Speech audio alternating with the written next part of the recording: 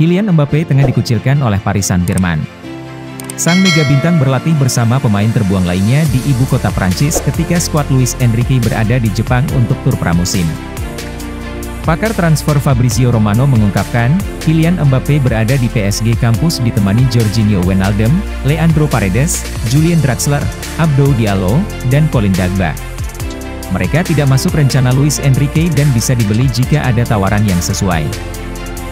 Ini terjadi setelah Mbappe ditinggal dalam rombongan yang berangkat ke negeri matahari terbit. Padahal pemain asal Prancis itu mencetak salah satu gol kemenangan 2-0 atas Le Havre pada uji coba baru-baru ini. PSG mengambil sikap tegas setelah Mbappe tidak menunjukkan kesetiaan.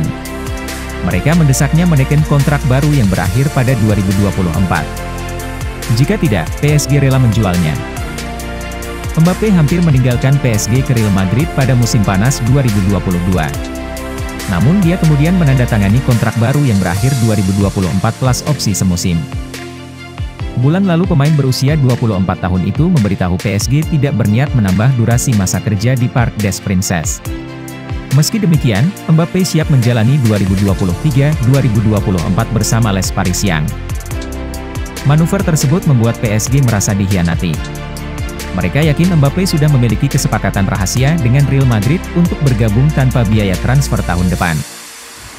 Raksasa negeri anggur tersebut tidak terima karena sudah mengeluarkan 180 juta euro ketika merekrutnya dari AS Monaco pada 2017. Agar tidak rugi banyak, PSG berniat melego Mbappe sekarang kepada siapa pun yang berminat.